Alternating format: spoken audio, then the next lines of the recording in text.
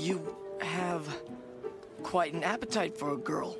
Um, thanks. So, Lee, where were you and your uncle living before you came here? Um, well, we've been traveling around for a long time. Oh, why were you traveling so much? We were, uh, part of this traveling circus. Really? What did you do? Wait, let me guess. You juggled. Yes, I juggled.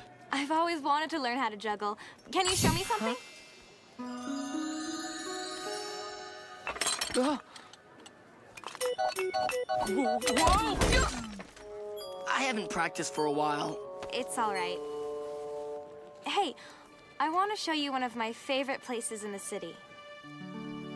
I'm so excited for you to see the Firelight Fountain. The lamps make the water sparkle and reflect in the pool in the most beautiful way. I can't believe it. They aren't lit. Close your eyes and don't peek.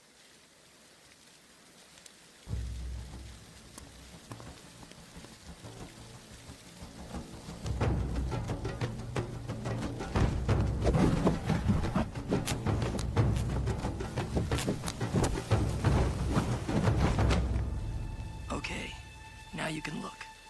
Oh, wow. What happened? How did they light? What did you...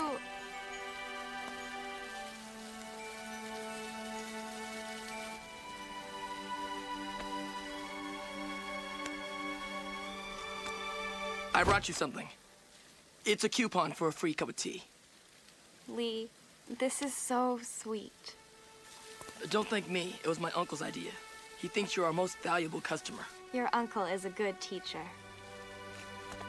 I have something for you, too. Now it's your turn to close your eyes.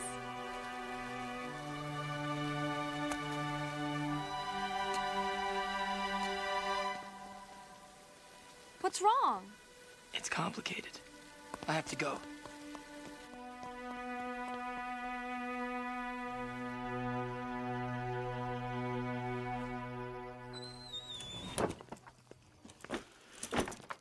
How was your night, Prince Zuko?